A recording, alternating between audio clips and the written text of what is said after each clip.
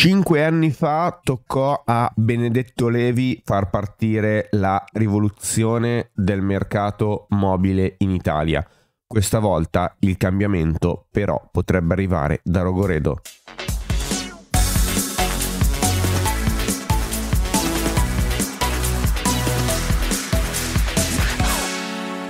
Con la fusione di Wind e H3G serviva un altro operatore. Così nel maggio del 2018 arrivò nel nostro paese Iliad, che sicuramente è un operatore che adesso è sulla bocca di tutti, che adesso è diventato un po' stantio che però nel 2018, 5 anni fa, fece realmente partire una rivoluzione. Possiamo quasi spaccare il mercato della telefonia mobile in Italia con un pre-Iliad e un post-Iliad, con il lancio che va quasi a rivoluzionare un mercato. È sicuramente servito l'arrivo di quell'operatore con quella mentalità e quell'offerta. Prima del lancio di Iliad sicuramente c'era un prezzo molto più alto, c'erano secondo me dei prezzi quasi di cartello, dei prezzi che andavano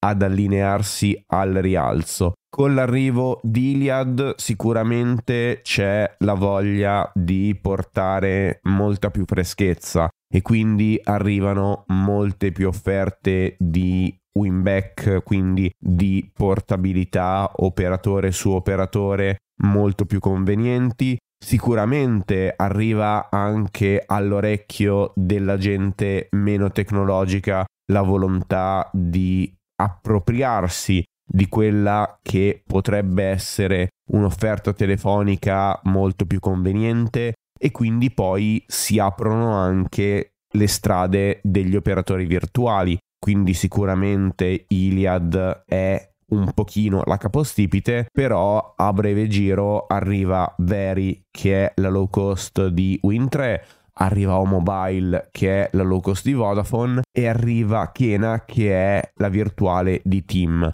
Ovviamente poi ci sono le varie cop voce, Fastweb Mobile, eccetera, eccetera, che si appoggiano agli operatori, o meglio all'infrastruttura dei grandi operatori, però sicuramente Iliad ha portato un po' di freschezza nell'offerta mobile del nostro paese. Freschezza che negli ultimi anni però è andata a perdersi. E secondo me è interessante vedere come ci sia, secondo me, bisogno di un'altra rivoluzione. E la rivoluzione potrebbe arrivare da Sky che nella mattinata di ieri ha lanciato la partnership con Fastweb per l'arrivo nel 2024 di Sky Mobile. E sicuramente quando parliamo dei pregressi di Sky nel nostro paese, vediamo un'azienda che ha portato una forte rivoluzione tecnologica perché ha portato sicuramente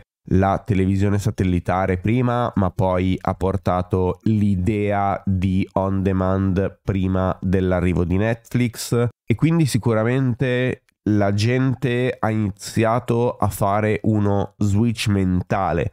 Poi sicuramente la TV di Sky è arrivata anche ad avere altri benefici con prima l'arrivo di tutta la questione infrastrutturale legata al 4K HDR che secondo me è importante sottolineare nel 2024 praticamente che è l'unica grande azienda che distribuisce tanti contenuti in 4K HDR anche live. E quindi secondo me è interessante sottolineare come anche attraverso Skyglass e i vari decoder, ma soprattutto con Skyglass, ha portato quell'unificazione di tutte le piattaforme, quindi quella sorta di sistema operativo che non è nient'altro che un estrapolare metadati da tutti quelli che sono i contenuti delle varie piattaforme per avere poi una nuova interfaccia molto semplificata e che quindi porta la mentalità di determinate persone a voler esplorare anche i contenuti che non siano della piattaforma X e ve l'ho raccontato più volte in questo podcast mio padre da quando ha Skyglass riesce a vedere meglio la piattaforma come secondo step e non come primo. Cioè, quando per esempio è in cucina e vede una serie tv, un contenuto generico in cucina, spesso vede Netflix. Perché vede Netflix? Perché è l'unico tasto che c'è sul telecomando. Quindi quando c'è uno step iniziale che è quello della scelta della piattaforma, una persona magari meno avvezza alla tecnologia o magari più pigra tende a schiacciare un pulsante e vedere quello che è il contenuto di una singola piattaforma. Per esempio, mio papà non guarda documentari su Paramount Plus, non guarda serie TV o film su Disney Plus forse non sa nemmeno di avere un abbonamento ad Apple TV Plus se dovesse limitarsi solamente alla visione di una smart TV tradizionale. Quello che Sky ha fatto nel nostro paese negli ultimi anni con l'arrivo di una piattaforma come quella di Sky Glass è quello di andare a rendere più semplice il passaggio della scelta del contenuto perché mette insieme più contenuti di più piattaforme. Il continuo a vedere, il continuo a guardare dove io ho l'episodio della serie su Netflix, ho l'episodio del contenuto di Sky Sport, ho la serie TV presa da un'altra piattaforma mi porta secondo me ad avere più semplificazione. Quindi Sky Mobile arriva in questo contesto, arriva nel contesto di semplificazione, secondo me, di tutta l'infrastruttura italiana. E perché voglio iniziare questa puntata parlando di Sky Mobile come rivoluzione? Perché secondo me è il primo passo verso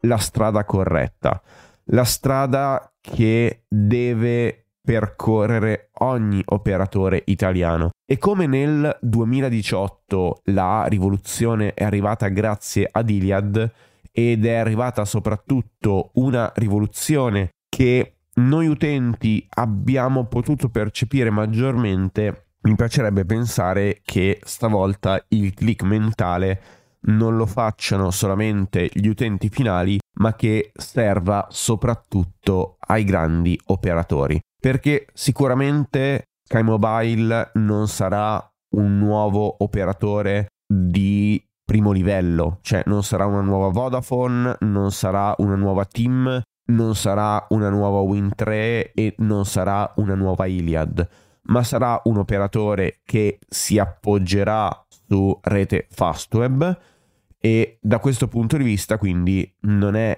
che possiamo portare molta consapevolezza nella crescita tecnologica perché semplicemente è l'ennesimo operatore virtuale. Quello che secondo me è interessante sottolineare e voglio farlo con l'episodio di oggi e ho usato la crescita tecnologica di Sky proprio per andare a tracciare quella che secondo me è maggior consapevolezza nel nostro paese è appunto il far evolvere quelle che sono le telco italiane e che poi vadano in qualche modo ad integrare quelle che per il momento sono solo offerte tecnologiche con i servizi. Cioè Sky con una singola bolletta ti andrà a portare la TV intesa come contenuto televisivo ma anche come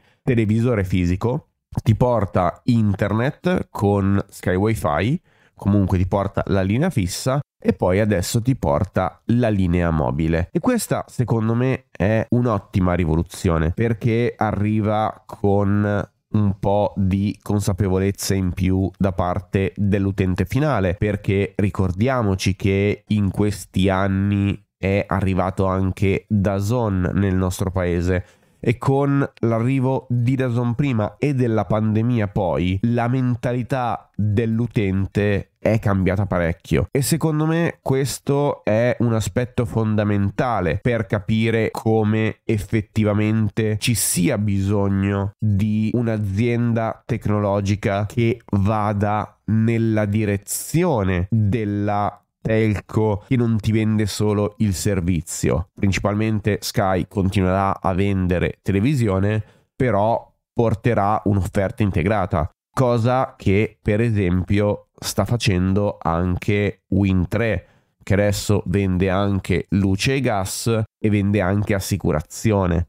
Quello che in qualche modo sta cercando di fare Tim che ti vende i pacchetti con dentro Netflix, con dentro Disney Plus e con dentro Dazon. Poi Secondo me, per quanto riguarda Dazon, c'è un pizzico di conflitto di interessi perché Team ti sconta Dazon e poi in ogni caso è l'azienda che dà il title sponsor al principale contenuto visibile su Dazon, ma questa secondo me è una considerazione personale. Però comunque abbiamo visto diverse telco che offrono molto più della linea in sé. Il click che vorrei che Kai Wi-Fi portasse nel corso del 2024 è proprio questo cambio di paradigma. Il fatto che le aziende tecnologiche devono capire che nel corso del 2024 ci sia bisogno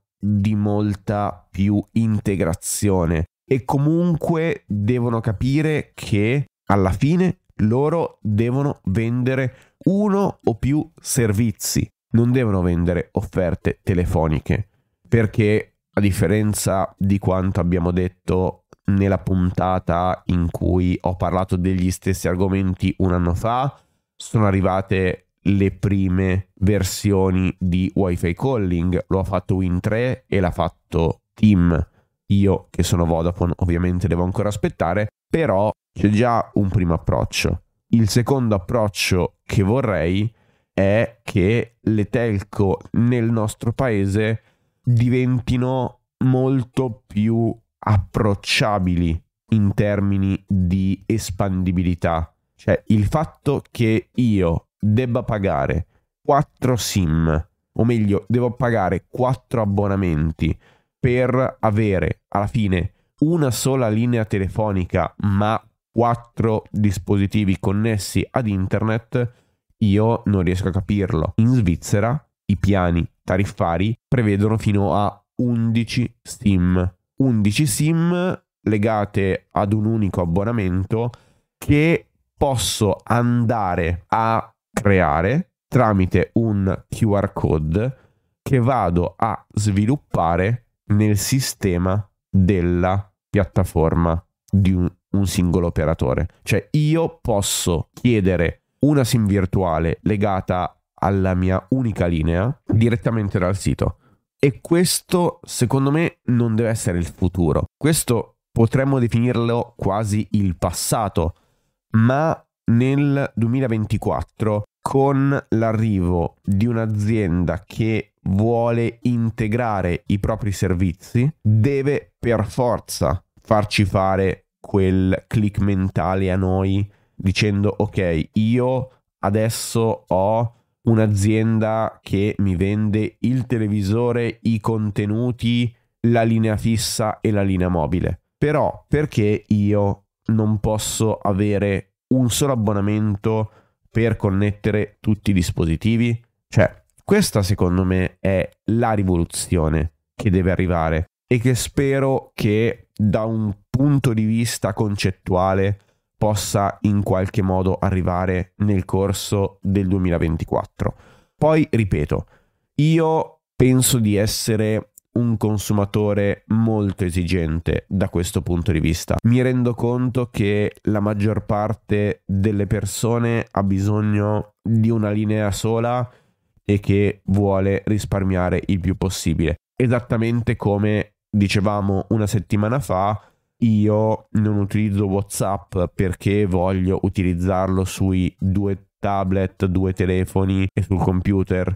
Quindi io WhatsApp, questa cosa con, con WhatsApp questa cosa non la posso fare quindi uso iMessage, uso Telegram. Io questo concetto lo vorrei massimizzare nell'episodio di oggi parlando soprattutto di quegli operatori che sono top tier, cioè la team, la Vodafone hanno delle infrastrutture fenomenali e io onestamente sono disposto a cambiare operatore, sono disposto anche a pagare di più per avere qualcosa in più. Chi vuole un iPhone 15 Pro per avere determinate caratteristiche paga un prezzo di partenza molto più alto dell'utente medio che magari sceglie il classico Android da cestone e lo paga 160 euro. E questa secondo me è la cosa più importante da sottolineare. E unendo i vari puntini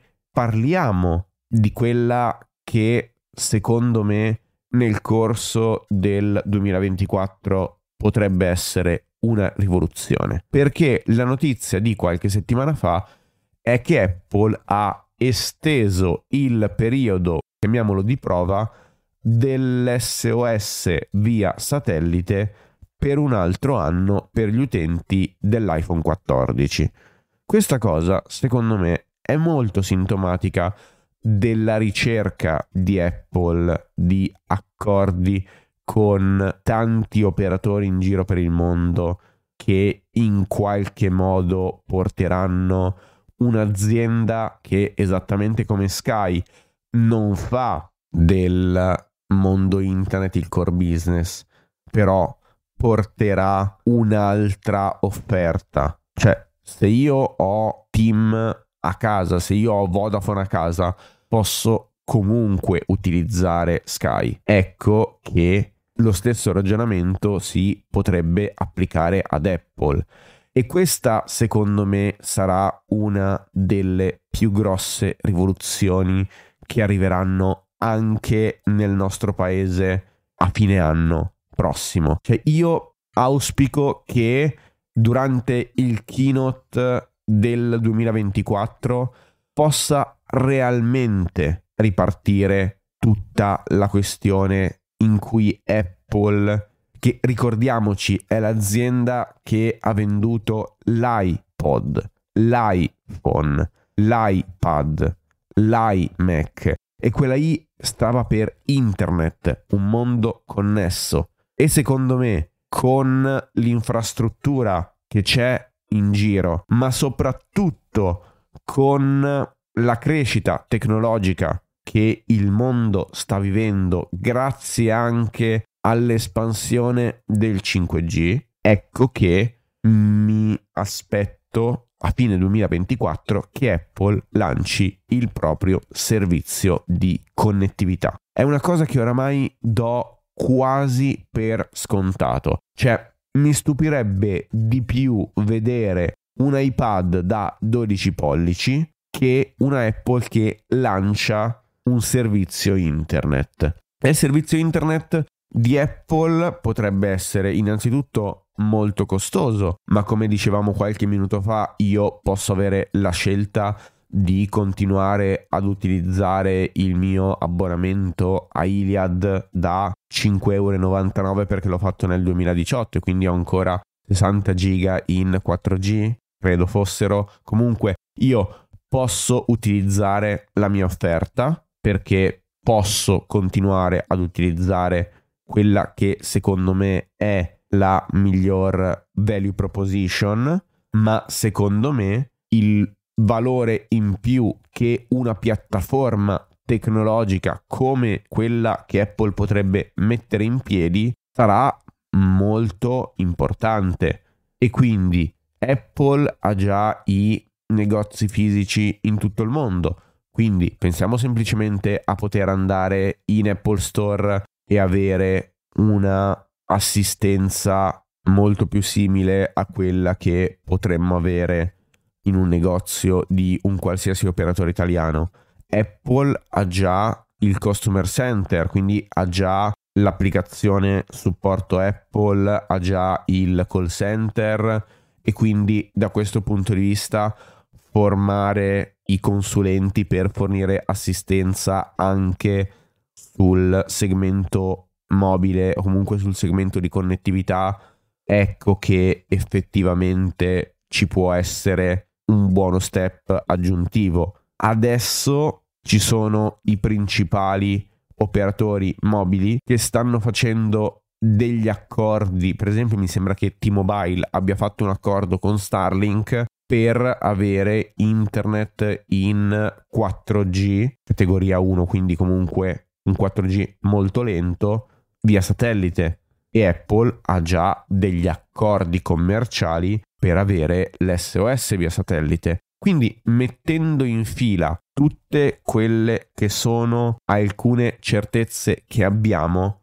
la naturale evoluzione, secondo me, potrebbe essere veramente quella in cui Apple diventa un operatore. Diventa un operatore che ci dà la connettività su tutti i telefoni, tutti i tablet, su tutti gli Apple Watch, su tutti i computer. Ragazzi, stiamo andando nella direzione in cui Apple sta sviluppando i propri chip WiFi, ma anche i propri chip 5G e nel corso del 2025 o 2026 tutto sarà integrato nel sistema una chip e costerà meno secondo me produrre un A19, un A20 ma anche un M5, un M6 con il chip WiFi, ma soprattutto con il 5G integrato. E quindi, secondo me,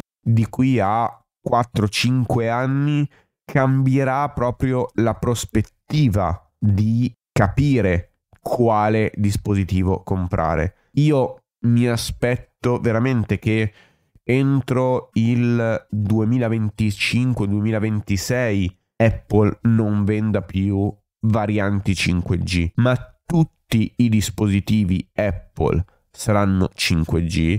Adesso è arrivata anche una notizia, un rumor che praticamente dava per in arrivo tra qualche anno un MacBook Air con connettività cellular e quindi ecco che la naturale evoluzione è quella di venderti tutti i dispositivi con connettività cellulare, tutti i dispositivi con SIM integrate, che è l'evoluzione della eSIM. C'è già lo standard per la eSIM, Integrated SIM, e quindi da questo punto di vista Apple potrebbe unire, come abbiamo sempre detto, la parte hardware con la parte software e la parte di servizi. Se io dovessi dare 30 euro al mese, 40 euro al mese ad Apple per avere connettività illimitata su tutti i miei dispositivi con la possibilità di avere il modo di fare le chiamate anche con iPad su iCloud. Quindi io con un altro iPhone, con un altro dispositivo che non è un iPhone, io posso fare tutte le telefonate con un'unica linea, cioè questa per me è già rivoluzione, cioè io prendo qualsiasi dispositivo e ho la possibilità di effettuare chiamate via iCloud, si può già fare, in America lo offrono i principali operatori, in Inghilterra lo offrono i principali operatori, in Italia non lo offrono e spero che possa essere il nuovo step, visto che con iOS 17.2 arriveranno anche in Italia le chiamate wifi. Cioè, andando ad allineare tutti questi puntini, è naturale pensare ad una Apple che ti vende un servizio. E pensiamo se questo servizio praticamente vada a snaturare l'idea di roaming, vada a portare la connettività satellitare che si integra con le antenne, quindi io sono connesso ovunque, ovviamente con velocità differenti. E se magari in un futuro Apple non possa riportare anche un airport che però ti dà la connettività in FVA, quindi la possibilità di avere anche connessioni fisse in casa con Apple e quando cambio casa, quando mi sposto in vacanza prendo quella torrettina bianca, me la sposto in un'altra posizione e io non devo pagare un altro abbonamento. O banalmente io cambio casa cioè vado da un'altra parte ma ho i servizi connessi. E Apple da questo punto di vista potrebbe integrare tutto in focus mode, potrebbe integrare l'intelligenza artificiale che potrebbe arrivare in iOS 18, quindi c'è lo switch tra 4G, 5G in base al mio comportamento. Cioè, questa secondo me è quello che gli operatori anche nel nostro paese dovrebbero fare. Integrare molti più servizi, dare la possibilità di avere un unico abbonamento e più connessioni. Cioè io in questo momento, ripeto, pago 4 SIM, 5 SIM, 4 SIM per avere un solo abbonamento, cioè io ho un numero di telefono, però voglio avere la connettività anche su iPad, voglio avere la connettività anche sull'iPhone 13 mini e anche sull'Apple Watch. Ok, sono una persona molto appassionata di tecnologia, per alcuni versi potrei anche sembrare problematico e probabilmente avete ragione, però da questo punto di vista sono una persona che vuole semplicità. Apple da questo punto di vista già ci ha già appassionati alla semplicità, ci ha già abituati alla semplicità. Pensiamo semplicemente al nuovo step di mettere i Apple Password e ho già la SIM sul nuovo telefono. Cioè questo secondo me, per me dovrebbe essere già presente, però è futuro. E da questo punto di vista Sky in Italia potrebbe far fare quel click mentale alle telco che servono nel nostro paese, cioè quei click mentali in Italia che secondo me servono per sviluppare il servizio come principale fonte di pagamento. Cioè, sviluppare l'infrastruttura fisica, ok, ma deve svilupparsi anche un'infrastruttura che nel nostro paese è limitata al vado nel negozio, compro la SIM, do i documenti e poi torno a casa, metto la SIM nel telefono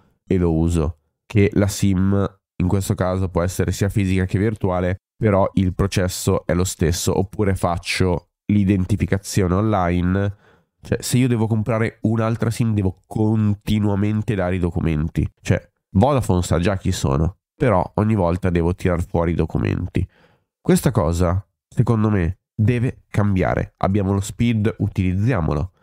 Abbiamo le aziende tecnologiche che ci danno i propri servizi, utilizziamoli. Per fare in modo che l'infrastruttura diventi qualcosa di diverso. L'infrastruttura diventi solamente una tela sul quale, sulla quale dipingere tutto con semplicità. Io vorrei che da questo punto di vista il 2024 potesse essere l'anno in cui le aziende tecnologiche in Italia diventano ufficialmente delle venditrici di servizi. Ho bisogno di connettività, io ti compro la connettività. Poi, quanti dispositivi, su quante piattaforme lo decido io, ma non lo decidi tu. Cioè, tu mi dici, ok, tu mi devi dare 15 euro al mese per avere 100 giga. Io, se ho 4 dispositivi e con 4 dispositivi raggiungo 100 giga dopo 2 ore, dopo me lo stoppi. Ma non regalarmi, cara Vodafone, un anno di connettività gratis, perché Vodafone adesso mi ha regalato un anno di connettività gratis, illimitata.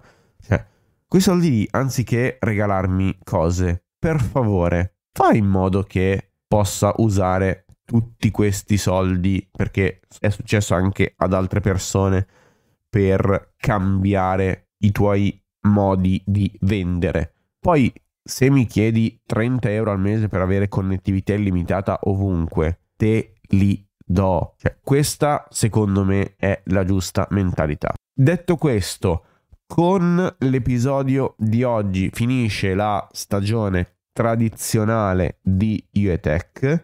Settimana prossima siamo a dicembre per cui iniziano le puntate di riepilogo. Fino a fine anno ripercorreremo quello che è stato il 2023 dal punto di vista tecnologico.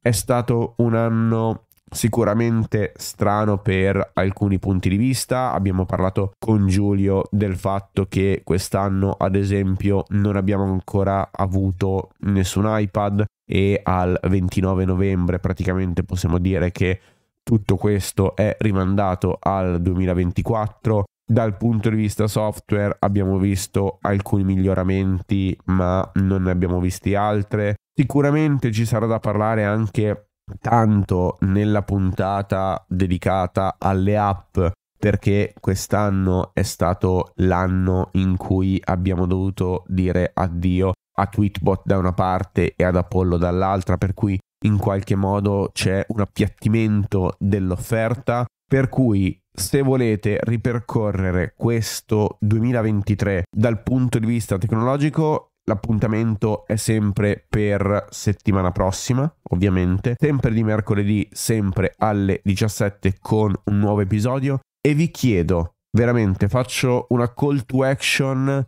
alla, alla Radio Mod. Voi cosa ne pensate della connettività in Italia? Cioè, è veramente una cosa che mi appassiona, è veramente una cosa che trovo molto interessante dibattere per cui veramente se avete voglia di condividere i vostri pensieri, di farmi sapere quelle che sono delle idee che in questo momento io non ho avuto. Fatti, fatemi sapere, mandatemi un messaggio su Telegram, uh, su Twitter, su Instagram, trovate tutti i link nelle note dell'episodio e noi ci sentiamo tra una settimana per iniziare a riepilogare questo 2023.